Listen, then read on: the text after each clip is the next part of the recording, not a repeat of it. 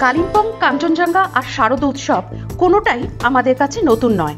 অথচ অতি পরিচিত চেনা জানা অষ্টমীর ভোরকে অন্য দৃষ্টিতে দেখা, সম্পূর্ণ অন্যভাবে অনুভব করা, এটাই হলো এজলেস উইজডামের ট্রাভেল ব্লগের বিশেষতা। সেই জন্য সাবস্ক্রাইব করে সঙ্গে থেকো, বন্ধু। আজ মহা অষ্টমী। পাহাড়ি শহর কালিম্পংয়ে মহা অষ্টমীর ভোরে হিমালয় তার মনোমুগ্ধকর রূপে আমাকে মোহিত করছে। চারিদিক শান্ত, নিস্তব্ধ। শহরের কোলাহল জনসমাবেশ থেকে দূরে পাহাড়ি শহরে বসে মহা অষ্টমীর ভোরটুকু আমাকে অন্যভাবে আবিষ্ট করছে। সোনালি রোদ এসে পড়ছে কাঞ্চনজঙ্ঘার চূড়াতে। সূর্যের কোমল রশ্মি যেন প্রদীপ প্রজ্বলন করছে।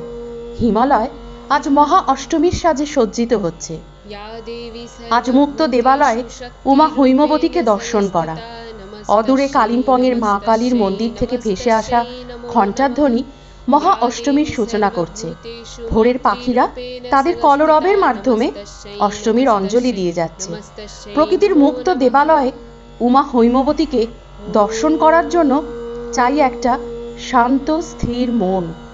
অশান্ত মনে শহরের প্যান্ডেল হপিং হতে পারে বন্ধু, কিন্তু উমা হৈমবতীকে এই মুক্ত দেবালয় প্রাঙ্গণে দর্শন করতে গেলে চাই একটা শান্ত, সমাহিত মন। এক অদৃশ্য জাদুকরের জাদুকাঠিতে আজ মহা অষ্টমীর সূচনা হচ্ছে। এক জাদু রচনা হয়ে চলেছে। এমন অনন্য অপরূপ জাদুতে মোহিত না হয়ে অন্য কোনো উপায় নেই।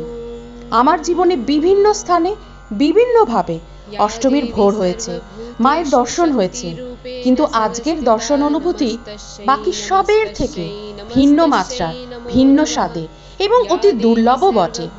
আমার চিরস্মরণীয় মহা অষ্টমী, তোমাদের জন্য ভ্রমণ পর্বে প্রথম উপহার রেখে গেলাম। আমার সমস্ত বন্ধুদের জন্য রইল শারদীয় শুভেচ্ছা।